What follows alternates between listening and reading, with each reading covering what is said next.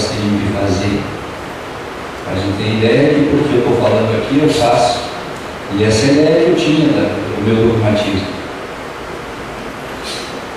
Aí já no preâmbulo do livro, no início, esse, esse livro Ação e Reação, ele, ele se desenvolve durante o período dos três anos, onde Hilário e André Luiz, dois aprendizes, vão para lá e ficam acompanhando os trabalhos e estudando. E estudando exatamente essa lei, lei de causa e efeito. Então vocês vejam André Luiz e o, e o colega dele, que segundo André Luiz, o Hilário era o, o perguntinho, ele perguntava tudo. Eles ficaram três anos, no mínimo, eu vi ali, nessa mansão, estudando essa lei de causa e efeito. Então vocês vejam que é uma, é uma lei, é um assunto assim, difícil, complexo. E quem comanda essa mansão, que seria uma espécie de colônia penal, que se situa em regiões inferiores, e o trabalho deles é recolher espíritos em sofrimento, né, digamos assim, dar um banho e preparar para vir para cá. Né? Para recolher espíritos em sofrimento, preparar, cuidar, dar treinamento e depois encaminhar para outras colônias, coisas assim, quando quiserem uma futura reencarnação. E o mentor, o líder, o chefe, Paulo Afonso dessa, dessa mansão, chama-se Cruz. Certo? E na entrada no plano do livro, lá no começo, ele faz uma oração. E, imagine, o presidente da mansão. Para a gente diz, meu Deus, é um espírito puro. Para nós, para nós ser puro, nós achamos que já em seguida. E ele faz uma oração tão verdadeira que André Luiz e Hilário se surpreendem com o conteúdo da oração. Não lembro se foi André Luiz ou Hilário que disse assim, Pois essa é a oração de um devedor. Isso é a oração de um grande devedor, de um espírito com muitos débitos, com débitos profundos. E eles ficaram com aquela angústia. Como que alguém no posto faz uma oração com esse conteúdo? E aí eu fiquei andando. Eu digo, ah, eu tenho chance. Eu tenho chance. E já deu para perceber no livro que Jesus, aquele que está pronto, não está por aqui. Aquele que vai assumir postos de direção do trabalho, seja onde for, é aquele que resolve se melhorar verdadeiramente. Se reconhece devedor e abraça as oportunidades que o Pai dá. Isso que eu já peguei de início com o irmão Cruz. E em situação também não igual, se não pior, Silas, que seria o vice-presidente, seria o Pércio da mansão. Os dois. Então não vou mais narrar mais para não, para não deixar que vocês comprem o livro e vejam. Para nós começar então o tema, glória é grande. Mas é letra 50, porque senão não enxergo. Né? Não tenho que pegar o óculos. Né? Mas para começar a se situar nesse tema, lei de causa e efeito, eu vou falar para vocês alguns nomes que, que a gente ouve quando está falando sobre esse conteúdo. Por exemplo, lei de causa e efeito, lei de ação e reação, lei de karma, lei de correspondência. Vamos pegando o conteúdo dos, dos para você ver como, como é extenso. Lei de proporção. Lei de livre-arbítrio. Lei de responsabilidade. Lei de consequência. Vendo quantos nomes nos remetem a esse lei de causa e efeito. E como isso é uma verdade, assim como é uma verdade a reencarnação, e eu quero já situar vocês numa questão pessoal aqui, que ontem o Pérez falou sobre a reencarnação. E é uma coisa que me angustia desde muito tempo, desde que comecei a estudar aqui, faz 10 anos, comecei com o meu querido mestre Carlos, que era o que eu precisava mesmo, militar, que a gente tem que ter uma fé raciocinada. E eu não conseguia entender o que significava essa fé raciocinada. Antes de começar a estudar a doutrina espírita, foi lá para o ano 2002, eu vivia com a convicção filosófica de que eu só tinha uma existência. Esse era o meu conhecimento filosófico. Não existia para mim a possibilidade da reencarnação. A reencarnação para mim era coisa de Buda, dos orientais, que não eram cristãos, então não iam para o céu. Então eu nunca me interessei pela reencarnação. E aqui começaram a falar isso. E o Carlos falar daquilo com tanta convicção, eu fiquei começando a impressionar aqui. E chegou no momento, porque a lei da reencarnação que o Pérez nos trouxe, ela se contrapõe à lei de uma única existência. Então o que significa? Ou é uma coisa, ou é outra. Uma exclui a outra. Uma exclui a outra. E os nossos comportamentos são orientados. Até os quatro anos, 100% dos comportamentos eram orientados pela convicção de uma única existência. Eu tinha uma convicção racional, lógica, filosófica de que eu só tinha uma existência. E como o Pércio falou, eu tinha três possibilidades: o céu, o inferno e ele me levantou uma lá que era o purgatório. Eu fiquei curioso, porque realmente não é tão ruim quanto o inferno. Mas purgatório não é coisa boa. Como uma única existência, eu não tinha dúvida, racionalmente, de que eu ia ir para o inferno. Não tinha dúvida. Só ser coerente, egoísta, só penso em mim, uma série de coisas que não dá para narrar. Não tem. Mas eu tinha, se racionalmente eu achava isso, mas profundamente eu tinha a ideia de que eu poderia ser salvo. Porque Deus é tão bom, alguém ia gostar de mim, não ia me deixar no inferno. Ia dizer, vem. Mas sabe que no último minuto ele se arrependia e ia ao céu? Eu tinha uma convicção profunda de que podia acontecer. O que é uma puerilidade, uma infantilidade, né? E aí avançando nos estudos, aí chegou um momento, que foi mais ou menos por 2008, que chegou um confronto. Olha, até agora os comportamentos são por uma única existência, mas está tá vindo outro conhecimento dizendo que é mais. E aí eu tive que, chegou um momento que racionalmente, filosoficamente, eu tive que enfrentar. E daí, a partir desse momento, eu senti que eu comecei a aceitar racionalmente, que é muito mais lógico, como o Pécio falou, o princípio filosófico de muitas existências. E a partir daí, a minha vida começou a mudar. Porque o, o princípio filosófico orienta nossos comportamentos. Se vocês pegarem os comportamentos de vocês e derem aprofundar, vocês vão ver que atrás dele tem filosofia. Filosofia que vocês nem sabem, mas foi ensinada pela mãe, pela, que aprendeu de sua mãe, de sua mãe, de sua mãe, que começou lá no ano 552, no conjunto dos concílios lá que implantou a reencarnação. Então ninguém vive sem conhecimento filosófico, mesmo que não tenha filosofia presente no dia a dia. Então a partir dali começou mudança na minha vida. Porque hoje está virando convicção para mim que eu tenho mais vidas. Mas vamos ficar com isso, senão eu adeiro que o Pécio já falou lá, que foi extraordinário para nós. Isso só para nos situar aqui.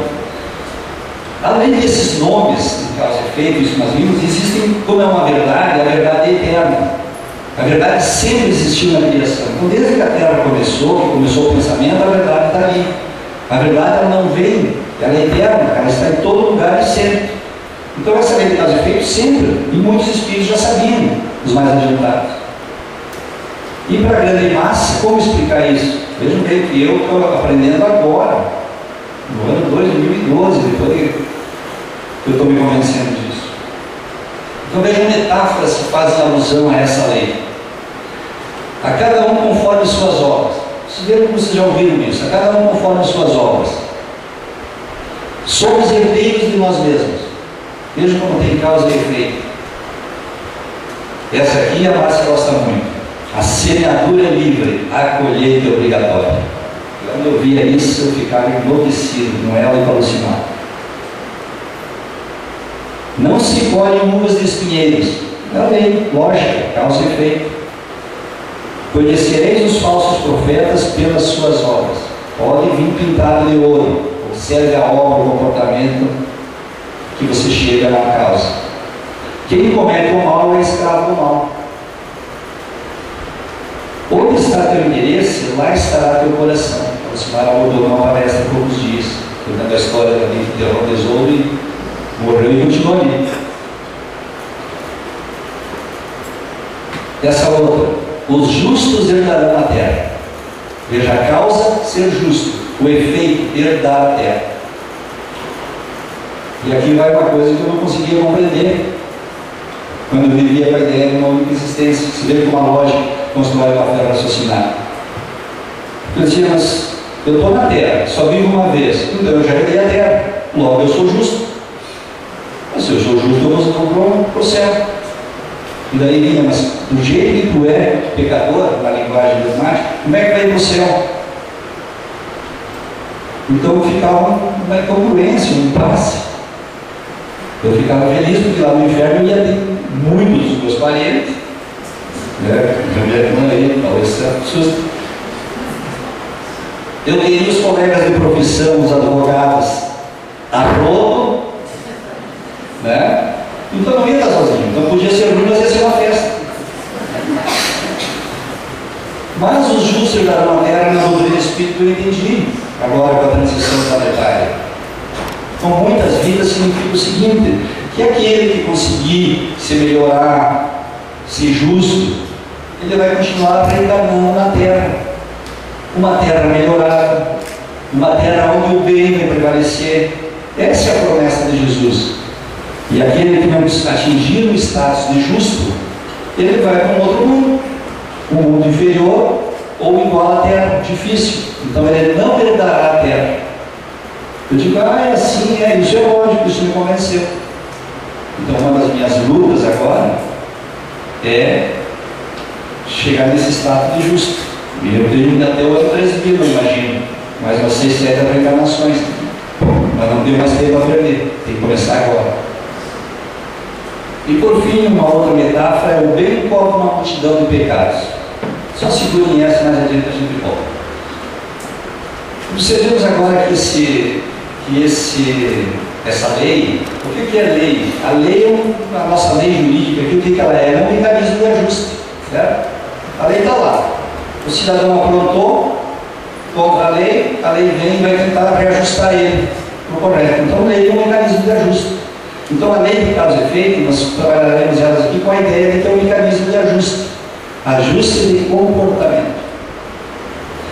E essa lei, esse ajuste de comportamento, ele tem alguns elementos. O primeiro elemento desse, desse mecanismo é a ação, a vontade livre, o livre arbítrio que todos nós temos.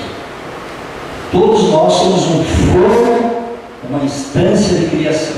Veja bem, de criação. Não existe, nós criamos para se existir. Lembra que Jesus disse que vocês são deuses, não sabem?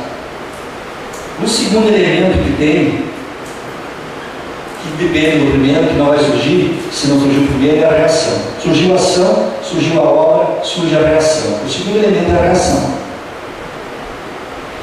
Um terceiro elemento que a gente vê nesse, nesse mecanismo de ação e reação é que tu tem a ação, tu tem a reação, e o que, que tu tem aqui no meio? Tu tem um tempo.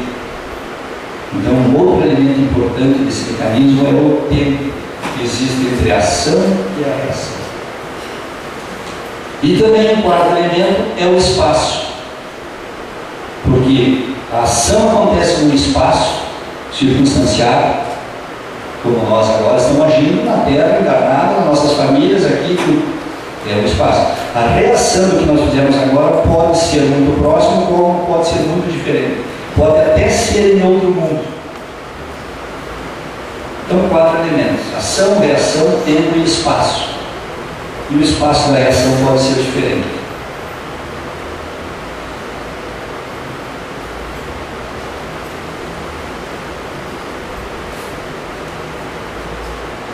Vocês vejam bem então agora no, próximo item. A primeira parte ser uma abordagem assim, mais filosófica e no fim daí uma questão mais prática, aquela parte mais para a gente refletir um pouquinho mais.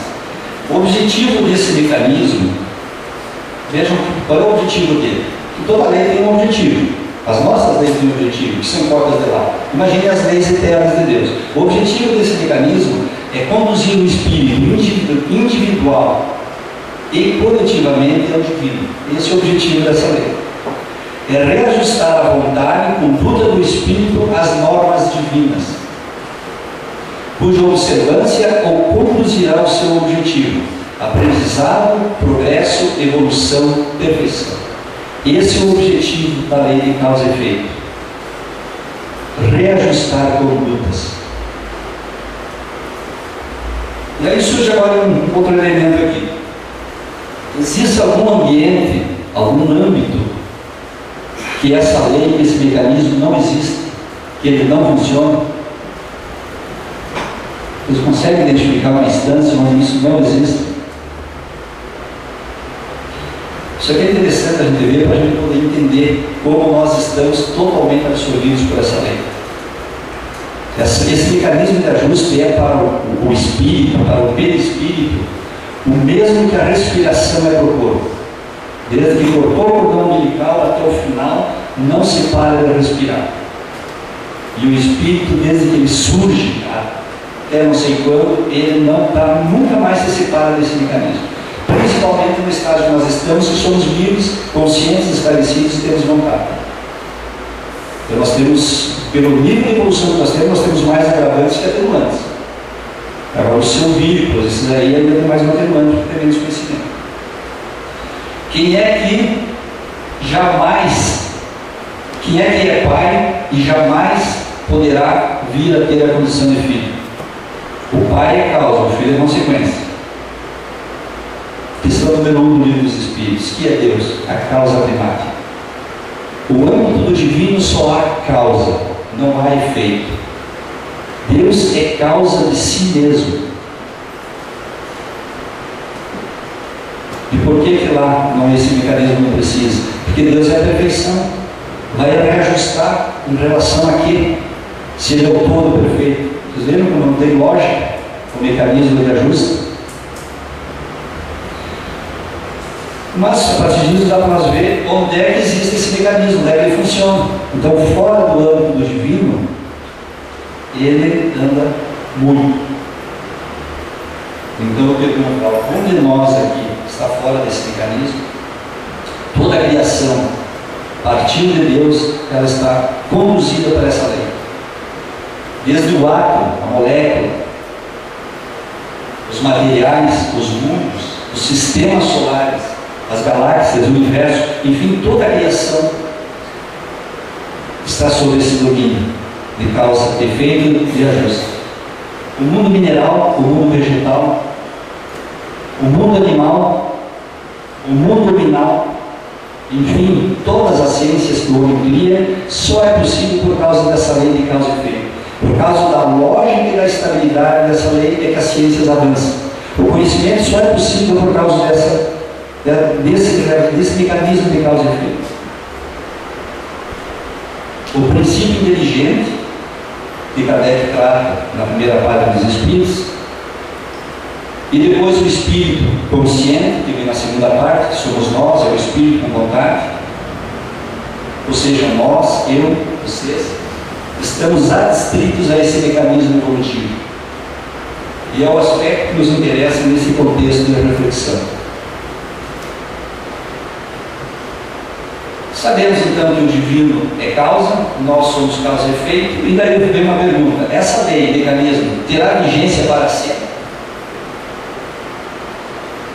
É para sempre que nós vamos ficar? Vocês vejam o que, que acontece. Há um momento, situação, em que as leis nossas elas se tornam inócuas na, linguagem jurídica, a gente chama de caduca, sem aplicação por inexistência de suporte fático. A lei não se aplica, vou dizer porque um exemplo. Até o, nosso Código Civil que vigiu, se não me engano, até o ano 2000, que veio em 1916, ele tinha um dispositivo lá que dizia que era crime raptar uma mulher. E nós estudando, lá um rapto de mulher, né? vem nas músicas, né? Pulou na garupa do cavalo, se mandou. Aí nós pedimos ao professor, professor, por que, que não tira isso aqui se não tem mais? Eles, ah, uma hora alguém reforma e tira. Ele disse, mas o senhor, nós pedimos para o senhor Almeri Falkenberg Ribeiro, o senhor já pegou algum caso com essa, isso aí? E ele, não, eu ia para trás assim, O caso mais antigo foi o primo do compadre do meu bisavô que tentaram pegar ele. Então imagine quanto tempo, o que, era o rápido? O o, o, peão combinava com a mulher, virava meia-noite, encostava o cavalo na, na porta da na janela, ela pulava e se mudavam para constituir família. Era comum isso. Tanto é que o Código Civil nosso tinha esse dispositivo. E agora ficou 20, 30, 40, 50, 60 anos sem haver nenhum rápido. Precisa rápido para você ver. Precisa rápido, não precisa. Né? Eu vejo eu lá, vou contar para ver. Quando eu né, consegui comprar 10 vezes um malê de seis portas dos móveis matos, um dia, né, começando na hora velha, vai, sabe como é que é hoje, né? Aquilo, procedente não precisa rápido. Um dia eu abri as portas para pegar um vento, caminhei, olhei, seis portas, cinco só tinha roupa dentro. Eu disse, mas para que raptar? É ela que me raptou, me cortou. Não vou contar para ela, Vocês vejam que a lei caducou, não tem mais suporte fático. Então ela perdeu, não é que ela perdeu vigência, é que não tem mais suporte fático. E aí eu lhes pergunto, quando é que essa lei de causa e efeito, esse mecanismo de ajuste, vai caducar? E ele vai se tornar inócuo por falta de aplicação, por falta de suporte fático, por falta de comportamento que transgrida a lei de Deus. Vocês ouviram alguém dizer assim: Eu faço a vontade de meu Pai. Jesus ainda está sujeito a esse mecanismo de ajuste? Se esse mecanismo é, pra, é quando a gente transgride a vontade do Pai, então veja, Jesus, para ele e para os espíritos que vão evoluindo, essa lei vai caducando. Por quê? Porque fazer o bem, a causa é o bem, e o efeito é o próprio bem. A causa se mistura com o bem, só no tempo, só no espaço. Então, à medida que nós vamos progredindo, essa lei vai perdendo força da aplicação. É animador, né, gente?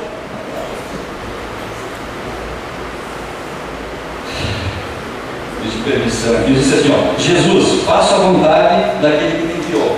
Paulo apóstolo, lembra que é uma sequência. Não vamos dizer, ah, então quando for com Jesus, isso aí não aplica mais. Gente, para chegar em Jesus nós vamos ter que, que, que ter uma escada assim. Então para não ficar tão longe, ó, vamos fazer nem Paulo apóstolo, ó, já não sou eu que vive em mim, é Jesus que vive em mim. E Jesus faz a vontade do, Pai, então Paulo apóstolo está próximo. Nós podemos copiar, uh, nos espelhar em Chico, em Divaldo, em Raul. Vamos trazendo mais perto. Paulo Afonso, Pérez, Lucimar, a IEC, Márcia. O critério aqui é que são os chefes aqui.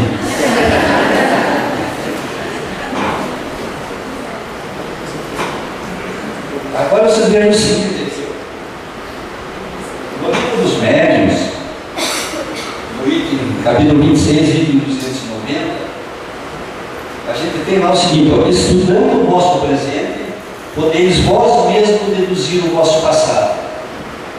E a lei de causa e efeito. Não, o presente é o efeito. Se nós o estudarmos, nós conhecemos nosso passado.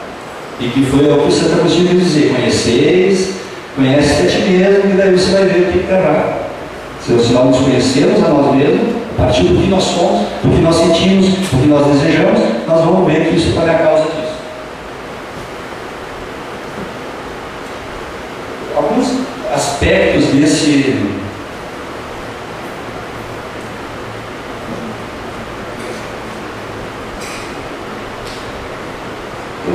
uma pequena, uma pequena propaganda aqui de Kardec. Vocês vejam como é que Kardec eh, se aproximou, como é que esse mecanismo de lei de causa e efeito, que é o mecanismo das ciências, Kardec era um cientista, ele era um homem positivo, era um homem da realidade. E quando convidaram ele para ir ver tudo que estava acontecendo, a mesa se movimentando, o Kardec chegou lá e disse assim, nossa, tudo que é, tudo que é efeito tem causa, essa mesa se mexendo tem uma causa. É esse princípio. Primeira posição dele, mas isso aí pode ser um fluido, como o fluido elétrico. Olha, o fluido elétrico ninguém vê, ninguém pega e ele move potentes motores. Então por que, um fluido que nós não conhecemos não pode estar jogando uma mesa para lá e para cá? Aplicou, quer dizer, se aproximou e já, pelo princípio lógico, ele escolheu. E na sequência, aí a mesa diz, ah, tu está muito esperto, hein, seu Kardec. Isso veja bem, não era um grande espírito, era um, um, um, um brincadeira. Está muito esperto esse, esse seu Kardec. Aí eles começaram a dar respostas inteligentes. E aí o Kardec caiu no cavalo e diz, ah, mas resposta inteligente não é mecânica. Resposta inteligente, se o efeito é inteligente, a resposta é inteligente, a causa tem que ser inteligente. E aí iniciou a pesquisa que culminou e nós estamos hoje aqui falando dela. Vocês vejam o quanto é profundo, o quanto é abrangente esse mecanismo. Aspectos do mecanismo, estamos nos aproximando da parte prática. Aspectos desse mecanismo, o tempo e o espaço. O tempo entre a causa e o efeito vai desde uma fração de segundo a um tempo indeterminado.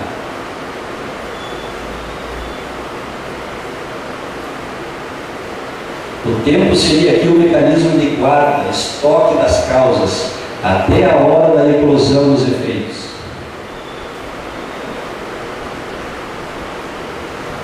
E aí eu lanço uma pergunta para depois nós abordarmos lá adiante. Por que tempo tão longo entre a causa e o efeito? Veja que o tempo pode ser determinado até. Por que tempo tão longo entre a causa e o efeito para nós espíritos transgressores? Fique com a pergunta. O espaço, um outro aspecto, não serão os mesmos. Quanto, quanto mais se distancia, quanto maior for o tempo, o espaço do, do efeito não será mais igual ao da, da ação. Imaginem vocês, aqueles que botaram fogo no passado, que Qualquer coisinha, vou fazer uma fogueira. Não é fogueira São João, iam queimar alguém. Hoje, ninguém, a lei, a nossa evolução, o nosso ordenamento jurídico, o nosso senso moral não permite que a gente bote fogo em alguém.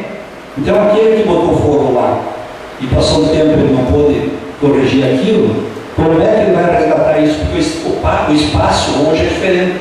O espaço são as relações, é a nação, o momento que ele vive. Como é que vai se processar isso?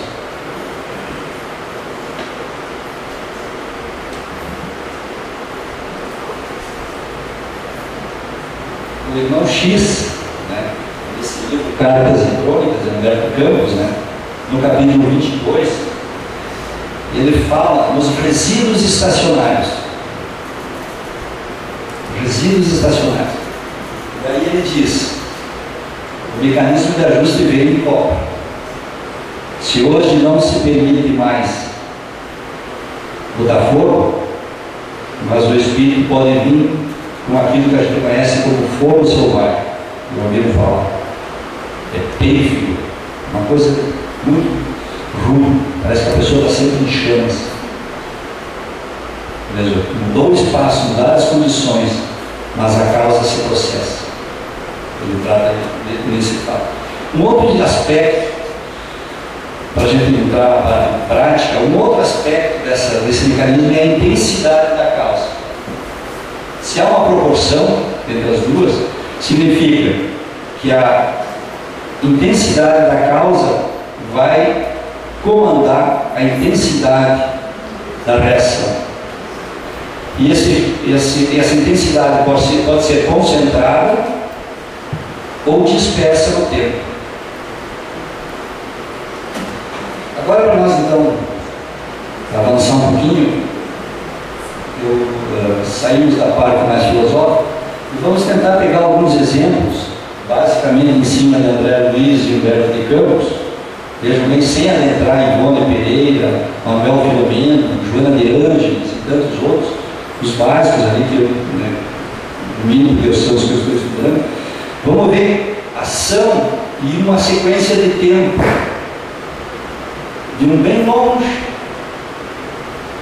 E daí nós vamos responder algumas questões do nosso Vocês viram que o tempo mais longo que eu vislumbrei, de uma ação e um efeito, eu vi no capítulo 13 e 19 do Evangelho segundo o Espiritismo, quando Santo Agostinho, quando Santo Agostinho fala muito dos mundos e lá mesmo, em 1860, 1850, ele já dizia que muitos chegaria um momento que espíritos que não mais estivessem atravancando bem no planeta Terra seriam remanejados para outros planetas. Então, é, a, transição, né, está, estão vindo detalhes, mas a notícia de que nós entramos na transição foi dada pelos espíritos Allan Kardec. Santo Agostinho já fala no capítulo 3 disso. Agora nós estamos tendo detalhes, detalhes mesmo. Isso aqui é a zero hora no mundo espiritual. Isso aqui aconteceu no mundo espiritual não faz três anos, quatro. A, a reação que eu vi mais longa, que eu vislumbrei, e que eu não quero para mim, é aquela: os justos herdarão a terra. Eu não sei quanto tempo eu estou regalando na terra, vocês também não sabem, mas é muito tempo. Esse tempo longo de reencarnações, e, e Deus dá oportunidade, e dá mais oportunidade, e vem mais um, e vem mais um, e vem mais um. Imagine chegar uma hora que diz, olha, não dá mais para te ficar aqui, tu vai ter que ir para outro planeta, inferior. Você veja que são milhões de anos, talvez, no mínimo milhares de anos, para que se consubstancie a reação a esse efeito espalhado de muitas reencarnações e a gente não se melhorando. Mas o mecanismo de ajuste não faz mais efeito nesse espaço. Ele vai precisar de um outro espaço que é um outro mundo. E são milhões de espíritos. Eu estou numa luta para não ficar nesses milhões. Por isso que eu nem jogo na loteria. Se eu não vou ganhar que é muito difícil, eu não vou ficar no meio dos milhões. Mas é o, o tempo mais longo que eu vislumbro de ação e reação. Agora vamos ver uma história. Efeitos de 18 séculos. 18 séculos. Certo? E isso me assusta, me acautela me encanta. Porque 18 séculos já existia. E certamente eu estava aprontando por esse planeta. Então deve ter coisa guardada para me resgatar que é fácil. E eu achando que tinha esquecido, já tinha esquecido o que eu fiz nessa. Precisamente depois de 1787 anos veio o resgate. No dia 17 de dezembro de 1961, em Niterói, no Rio de Janeiro, 3 mil pessoas assistem um espetáculo no Grande Circo, história conhecida. 3 mil pessoas.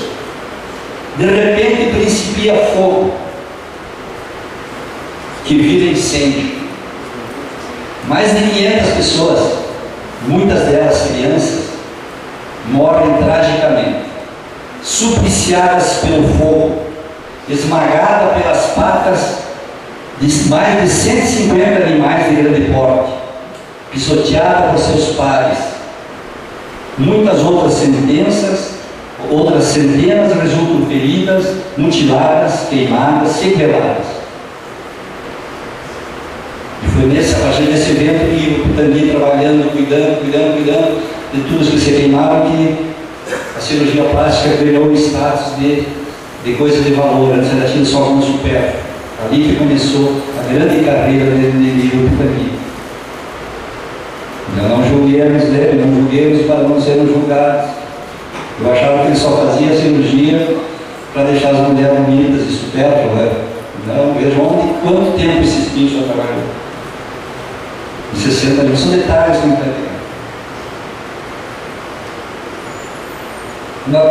vejam como funcionam as coisas. Uma colega de aula, nós falamos esse assunto na aula, e ela diz, não sei porquê, até hoje nós não sabemos, por que um tio meu desapareceu do interior de Lagoa Vermelha e apareceu morto neste circo. Olha, em 1961, você sair do interior da Lagoa Vermelha e aparecer em Niterói, que foi o maior desastre, quando Deus desalamento em Niterói, o prefeito declarou, desastre maior só do circo, ele falou. Quem te conhecia ouviu isso, ele falou rápido. Ele disse, desastre maior aqui em Niterói só o do circo. E aí nos narra Raul Teixeira, nesse livro, nesse CD aqui, Expiações Coletivas na Visão Espírita, que ele fez em Cascavel, no Paraná, em 2007, que ele só não estava nesse circo porque o pai dele, que era motorista, atrasou, mas ele estava lá engomadinho para ir no circo, o Chico do Raul é de Niterói. E ele ficou muito chateado com o pai dele. Mas os dois colegas de aula dele, que sentavam naquelas cadeiras, seminário, sabe, de três, os dois morreram. E Chico, Raul devia ter uns 6, 7 anos. Um pouquinho mais adiante, quando ele, ele começou no Espiritismo, começou a se aproximar, e ele caiu esse livro, esse livro do. É esse aqui, ó. Cartas e Crônicas, esse aqui, esse aqui também no capítulo 6, ele trata disso. É um livro que veio pela uh, mediunidade de Chico, veio a Lume em 66. Aí Raul leu isso aqui e disse, mas como é que o Chico está falando daquela tragédia? Na primeira oportunidade que ele teve, se aproximando, ele falou com o Chico. E disse, Chico, isso aí é aquilo lá. Eu disse, Chico, claro que é. Aí o Raul pediu para ele assim, mas por que tanto tempo entre. Ah, não, deixa eu terminar a história. Ah.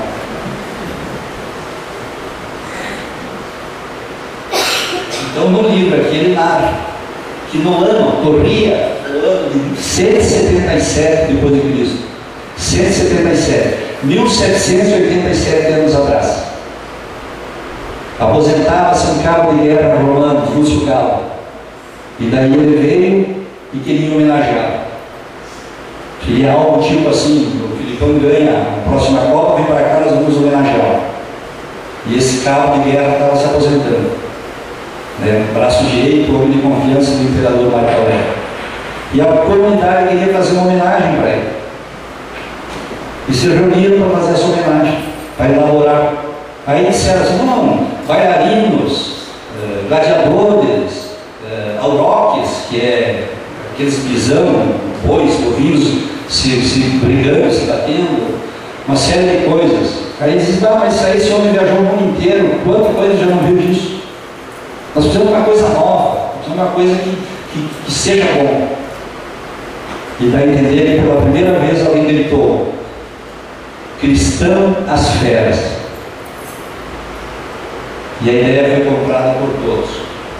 E saíram dali catando cristãos, mulheres e crianças, para o grande espetáculo. Construíram um circo ao pé de uma colina, com paliçadas de palanques, deixaram pequenas aberturas, jogaram lá dentro mil e tantas pessoas, crianças,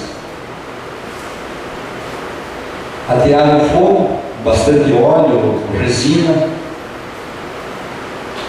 atearam fogo e soltaram junto algumas dezenas de cavalos velhos que não serviam mais para os jogos.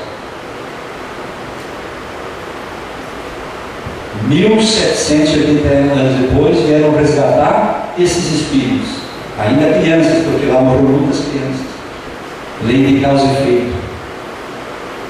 E aí o Raul pediu o Chico, tá? Tá nesse, tá nesse DVD. Por que tanto tempo, Chico? Porque quase dois mil anos. E o Chico diz para o Raul, o Pai misericordioso não aplica castigo em ninguém. Deus é pleno amor. Ele só permite que aconteça alguma coisa quando o Espírito pode compreender por que, que ele está passando por aquilo.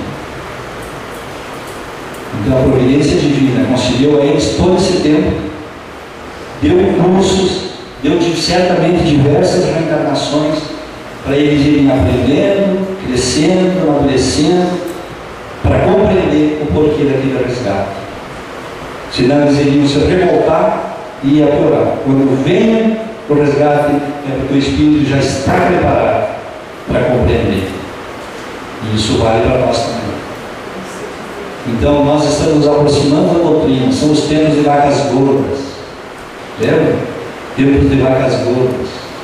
Agora eu estou conseguindo fazer uma coisa interessante, que aquelas coisas que eu aplicava numa existência só, estou aplicando em muitas. Isso aqui ocorreu agora, as vacas gordas. Olha o que é um tempo de gorda, é um tempo de calmaria, é um tempo que tu pode estudar, é um tempo que tu pode melhorar, é um tempo que tu pode combater vícios. E é o tempo que nós estamos vivendo, gente. Nós não sabemos o que nós temos para trás para recuperar. E com essa luz, com esse facho de luz que é a doutrina espírita, é a grande oportunidade da gente viver os nossos tempos de vacas gordas. E quando vem o resgate, a gente vai dizer, obrigado, Pai, eu compreendo o porquê. Vamos agora a um, um fato. Centenas de anos depois. Vocês vejam, milhares, dois mil anos, vamos agora centenas de anos, 700, 800 anos. Nos anos de 73, 74, São Paulo, a capital paulista, é sacudida por dois incêndios. Primeiro o edifício Andraus, em 74, em fevereiro, 1 de fevereiro, o edifício Joelma, pega fogo. Muita gente conhece isso, né? Só no, segundo incêndio, que é o, o Joelma, mais de 179 pessoas desencarnam, padecendo os atrozes sofrimentos das chamas que eles consumiram o corpo físico. E outros tantos, se não mais os 179, ficaram igualmente sequelados. Essa tragédia deu origem ao primeiro filme espírita no cinema mundial, que é o Joelma, 23 andar. 23 andar. E depois se seguiram Ghost, do lado da vida, CCT. Vocês vejam aonde começou. E esse filme foi feito em um livro psicografado por Chico, foi tirado, extraído desse livro, somos seis, o roteiro desse filme. Esses ensinamentos, as obras do Chico, quanto mais velhas forem, mais preciosas é o ensinamento. Não se enganem só com as últimas. O Chico tem uma obra extraordinária. E agora vocês querem saber o porquê disso. Narra Raul Teixeira, no mesmo CD, nessa palestra, que um tempo depois, o espírito Epifânio Leite, através da mediunidade de Chico Xavier, psicografa dois sonetos. E nesses dois sonetos ele narra a história dos dois, dos dois incêndios e revela que são espíritos europeus cruzados, resgatando os seus débitos. Lembra das cruzadas, ano 1100 e 1200? Em 1900, o resgate. Por que tanto tempo? Se vocês verem o filme, vocês vão ver, porque os espíritos já podiam compreender a personagem principal, uma menina que fica escrevendo para a mãe dela, dá bem a entender isso, porque ela entendeu o porquê. E agradeceu a Deus. E diz o Raul que uma estrada luminosa se fez das chamas e da fumaça céu adentro. E os mentores espirituais ajudando, amparando, levando os espíritos redimidos. E o Raul termina dizendo assim: Tragédia na terra, júbilo no céu. Depois de mais de 700 anos, os espíritos se melhoram. O conhecimento faz com que aquilo que a gente tem por tragédia seja uma bênção do Pai. Vamos ver um outro efeito aqui, 100 anos. Depois do 100 eu vou de, de 99, 98, 97. Efeitos de 100 anos depois. 100 anos. Tá? Está no livro Corpos e Apólogos, do Espírito Irmão X, capítulo 23. Na antivéspera do Natal de 1956, muitos aqui já eram vivos, né? 1956. No sul de Minas Gerais, zelosa mãe e dedicada esposa, em situação de desespero, às pressas, abandona a casa invadida pela água da torrencial tempestade. Zelosa, pede ao marido que parta logo com as crianças. E ela fica para trás. É tragada pelas águas torrenciais e morre aos gritos. Prestem atenção nos gritos dela que o Humberto relata. Socorro! Valei-me nosso Senhor. Parece eu, se chegar a desencarnar rapidamente. Eu sempre queria morrer, morrer de infarto de coração, meu pai faleceu assim, e eu tinha essa, como um trunfo isso.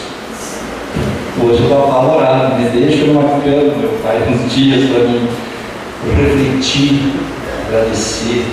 Eu vi um colega advogado que ele diz, não, não, o coração só morre quem merece. Porque eu tenho a ideia que o sofrimento é que não tem causa.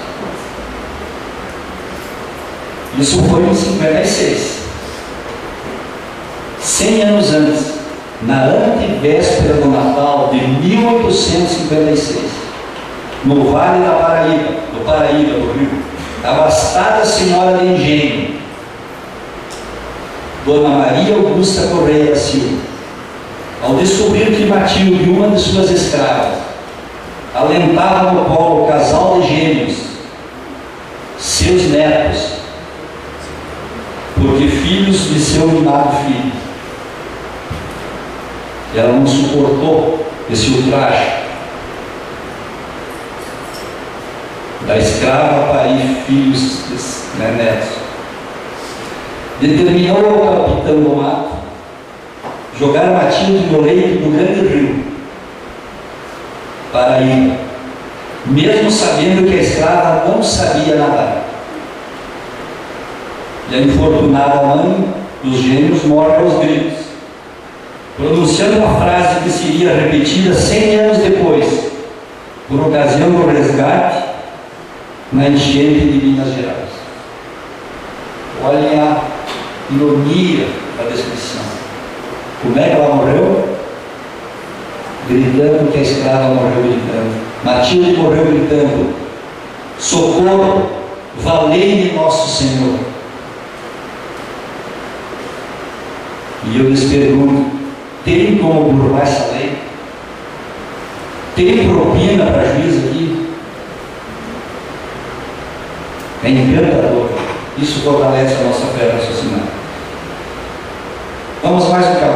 Causas repetidamente continuadas, efeitos igualmente continuados. Porque esse mecanismo de causa e efeito é infinito. As variações dele é infinito. Para cada um serão milhares de combinações e nenhuma igual a nenhum outro. Então vamos ver causas continuadas e daí então um resgate continuado. Humberto Campos, no livro Reportagem da aqui, no capítulo 22, não, vocês estão pensando, se eu chegar no mundo espiritual. E eu ouvi que o Humberto Campos está em algum lugar, mas eu, eu fujo daquelas regiões inferiores de qualquer jeito, pois eu volto, mas não vou perder de ter uma palestra com o Humberto Campos. Ele diz aqui no capítulo 22 que Januário Pedroso, funcionário público, em sua última reencarnação, olha como é que ele começa não era mal, mas em matéria de serviço era muito preguiçoso. Ainda existe isso aí? É. E a gente sonha, gente, deixa eu contar isso aqui. Muitos vão mudar a posição a respeito do serviço público. A gente sonha com, o serviço público, né?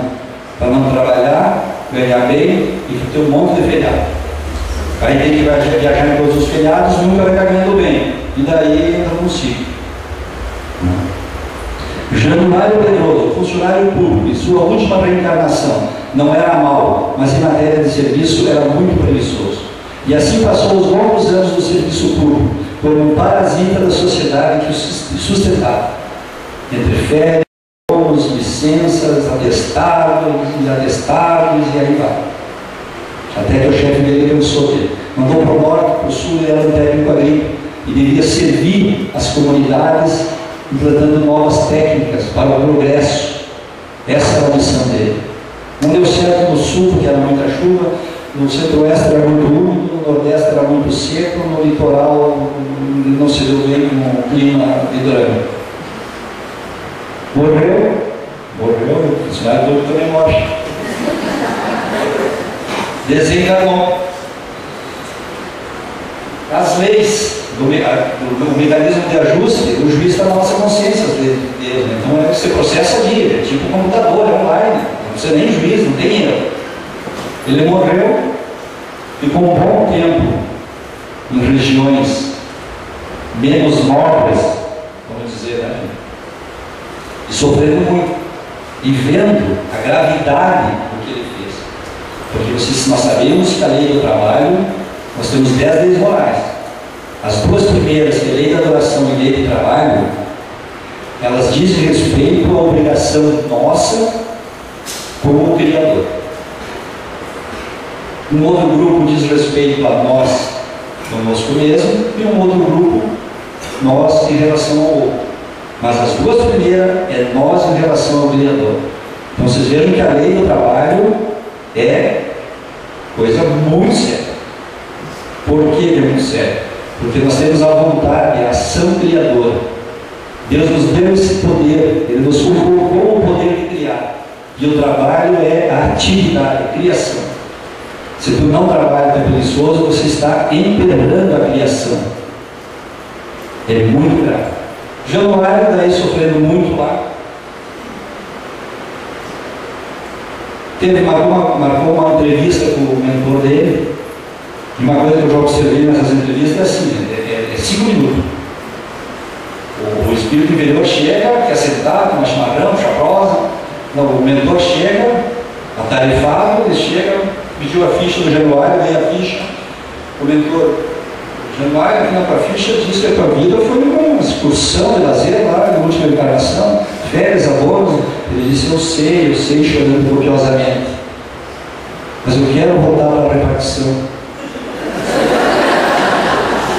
Dessa vez eu vou trabalhar.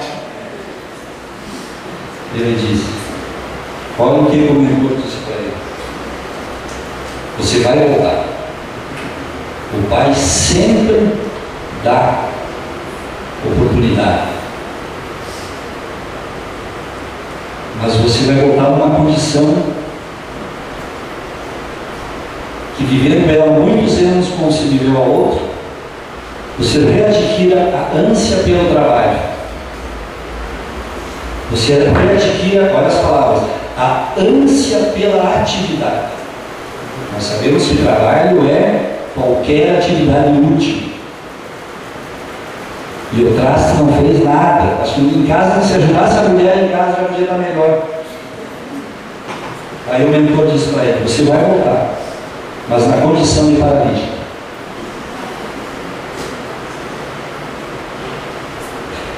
Tu decepcionar quem quer fazer é, concurso público para não trabalhar.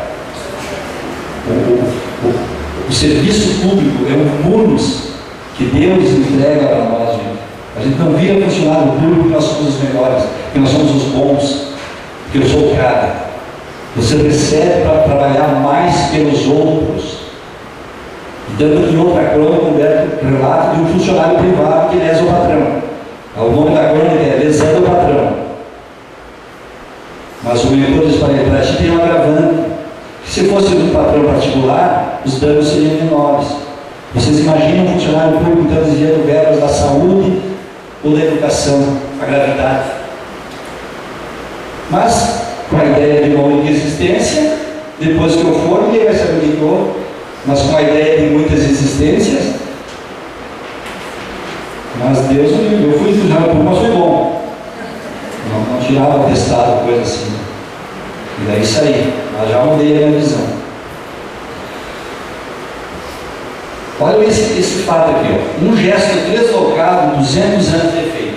Aqui seria assim o mecanismo, um gesto forte, e ele não tem como corrigir ele numa vez só. Precisa de muitos anos. É? Quem? Quem? Favor. É? Meu ídolo, Raul Teixeira. O Raul Teixeira tem uns CCDs aqui, que são encontros de dirigentes espíritas no Paraná. Eu tenho aqui na nossa livraria uns quantos. E é, só esse aqui, por exemplo, são cinco CDs. Imagine o Raul falando em cinco CDs. O que tem de informação. E como é seminário, é estudo, então não tem aquela empolgação, né? é gente algo maravilhoso. Tem informações que não terminam mais. O Raul cumpriu muito a função dele. E o material está ali. Está ali. E aqui nesse encontro aqui, o Raul, ele refere, foi em maio de 2005, ele refere que o doutor Bezerra de Menezes, pela mediunidade de Chico Xavier, revela aqui um suicida, que é um ato deslocado, intenso, forte, precisa, olha o que ele diz, um suicida leva em torno de 200 anos para reparar o ato suicida, a causa.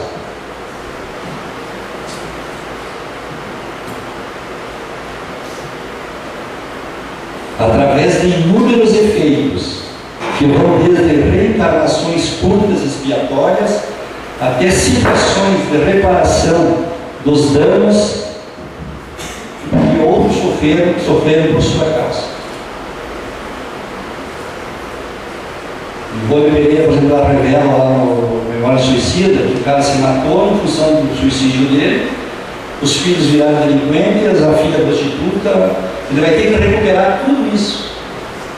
Aí ele vai vir com um filho que é delinquente. Olha o que ele vai sofrer. Mas é tudo consequência de uma causa intensa que é o suicídio. Então é fria, gente, furar, querer pular o ar. Aí leva 200 anos para voltar no status quo que ele estava. Mas não, ele, a gente não precisa se porque com essa possibilidade de ir para outros mundos agora, tranquilo, né? Imagina o que tem de, de mundos desse mundão de Deus e uma cidade para a gente ser feliz, para a gente chegar no nível do Espírito bom, que é a felicidade inalterável. Vale a pena a gente, a gente começar. E ainda vendo tá, nove, a lei de causa e efeito na transposição de dimensão. Aqui nós já estamos diminuindo. O que é a transposição de dimensão? É a morte. Entendeu? Já falava bonito fala, é a morte. Transpõe dimensão. Está aqui, vai para lá, está lá, vem para cá. E chamou atenção daí no livro Ação e Reação, na página 96, eh, no capítulo Conversação Preciosa, olha o que, que diz uh, o André Luiz Urinário, acho que é o Silas que está falando para ele, que o esforço de auto-reajustamento do espírito na vida espiritual antes da reencarnação tem força para amenizar seu retorno, garantindo a infância e juventude amenas e tranquilas. Vocês viram que o tempo da ação e a está diminuindo.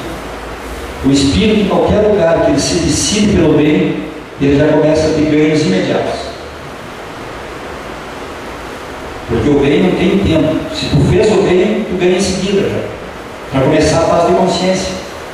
Então não há tempo entre a causa do bem e o efeito dela. Por isso que Jesus é o Espírito perfeito. Então o Espírito que está para reencarnar, está no espiritual, e lá ele procura se melhorar, o esforço de auto-reajustamento dele já lhe garante, pode mudar, ela para vir ter uma infância pedreira. ele já começa por essa determinação dele a mudar. Pode ter uma infância tranquila e amena. O que é uma infância tranquila e amena?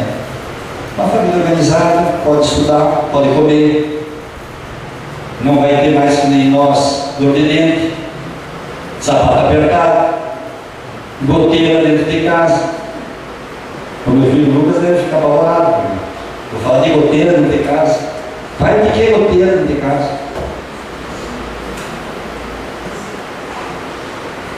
Vocês vejam como é qualquer ação, qualquer vontade de se melhorar, tanto no mundo espiritual quanto aqui.